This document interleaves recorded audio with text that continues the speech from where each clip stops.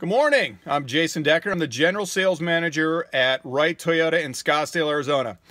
I am creating this video about HomeLink. I just went through the owner's manual and tried to figure out how to do it. And I took a look at a couple online videos and it wasn't working. So this is what finally worked.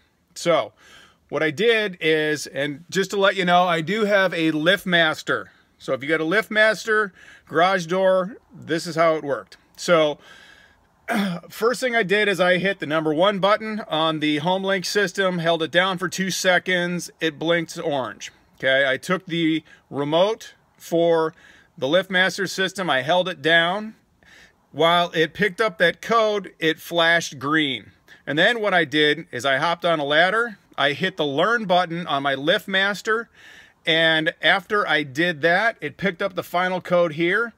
I hit the one again and it finally took the code.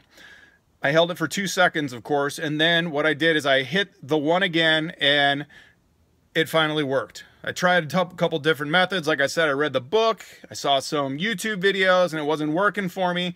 And that was the final straw. It worked. So I hope this works for you. If you got a 2017 Toyota, you got a LiftMaster garage system, that's what worked for me. I hope this makes your life easier because I spent 20 minutes doing it and it was not fun. So if you have any questions, feel free to give us a call, 480-778-2200. But I hope this video helps you out, makes your life easier. If you have any questions or comments, please see us at Right Toyota and we are happy to help any way we can.